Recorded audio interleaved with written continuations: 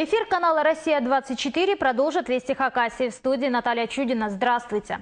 Абакан сегодня стал столицей Олимпийского огня. В России Олимпиада будет проходить второй раз, а вот эстафета огня первая. Общая ее протяженность 65 тысяч километров. Стартовала эстафета полтора месяца назад в Москве. И вот добралась до Абакана. Одним из первых священный огонь на привокзальной площади встретил Константин Кравцов.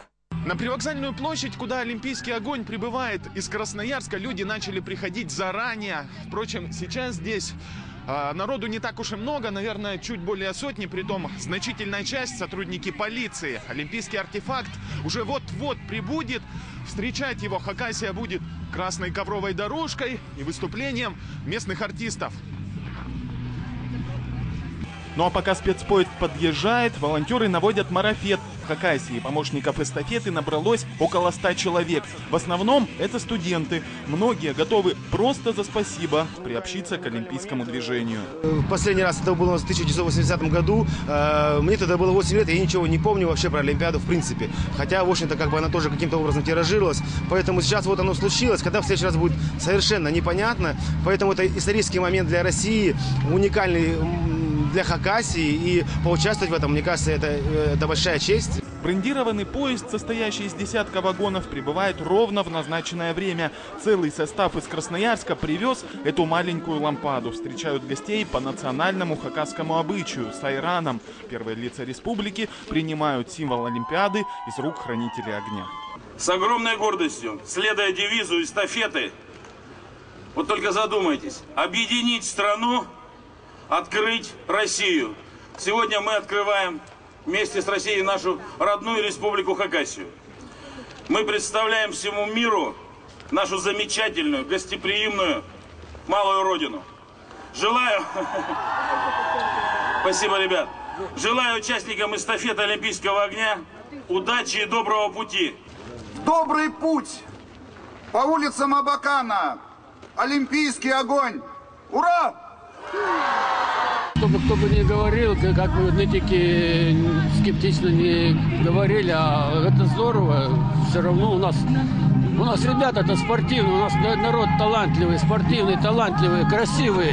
Природа великолепная, великолепней нет. Встретить Олимпийский огонь вместе с абаканцами всей командой пришли хоккеисты Саян. Сегодня у спортсменов ответственный день. Вечером предстоит битва на льду с кемеровским Кузбассом. Сегодня у нас еще предстоит, стартует э, чемпионат России по высшей лиге хоккея. Вот пришли, встретили, ну, зарядились э, хорошими эмоциями. Думаю, сегодня на стадионе Саяна мы покажем хорошую игру и обязательно победим. Не успели зрители полюбоваться лампадой, ее тут же увезли на Саяно-Шушенскую ГЭС. Уже там маленький огонек превратится в пламя, и его понесут факелоносцы. 10-километровый маршрут в Хакасии поделен на 61 марафонца. Константин Кравцов, Дмитрий Парахин, Вести, Хакасия. Побывал сегодня Олимпийский огонь и на самом значительном гидросооружении в Сибири. Саяно-Шушенская ГЭС эстафету Олимпийского огня принимала в 12 часов 30 минут. Эстафета по гребню плотины Саяно-Шушенской – это ровно десятая часть всего маршрута, запланированного в республике. Протяженность бетонного сооружения чуть больше одного километра. На дистанции 10 факелоносцев, передающих эстафету друг другу. От одного факела зажигается следующий и так на всем расстоянии. То есть у каждого всего 100 метров пути, но чувствуется, что это почетная миссия и восторг, и одновременно волнение для каждого из участников. Высокой чести удостоились не только спортсмены. В ряду факелоносцев и врачи, и рабочие, и спасатели. Ну а первым на гребне плотины принял олимпийский огонь пенсионер Николай Малых. Эстафета проходила в условиях пронизывающего ветра, что не редкость на верхней точке плотины, учитывая высоту сооружения 245 метров. И, кстати, только телевизионная трансляция смогла дать картину происходящего целиком, поскольку 10 телекамер были установлены в разных точках и на разных высотах. Видеосъемка велась и с вертолета, поднявшегося над Саяно-Шушенской ГЭС. То, что видел зритель, это лишь малая толика того, что предшествовало этому всему. На самом деле этому предшествовали несколько дней кропотливой, трудной работы на гребне наши люди, и не наши люди, компания РТС точно так же.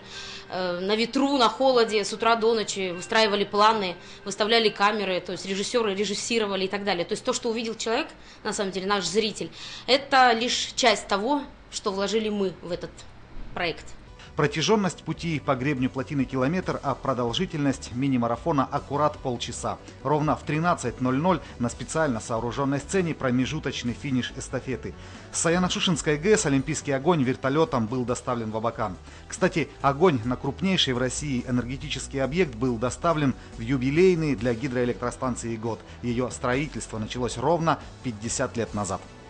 И как раз в эти минуты на Первомайской площади проходят народные гуляния в честь зажжения чаши Олимпийского огня. В столице Хакасии эстафета началась в 16.30. Старт с железнодорожного вокзала. Первой пронесла олимпийский факел чемпионка универсиады 2013 Татьяна Зырянова. Маршрут в Абакане прошел по самым красивым и знаковым